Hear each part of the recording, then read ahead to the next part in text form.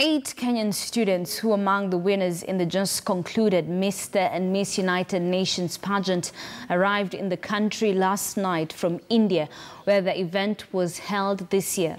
The eight were among a group of 17 pupils and students who participated in the international pageant that aims at inspiring young generation to volunteer in community development projects to change their communities.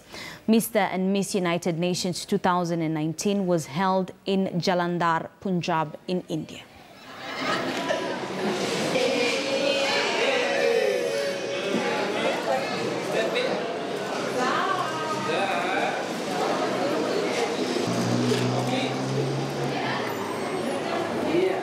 Good.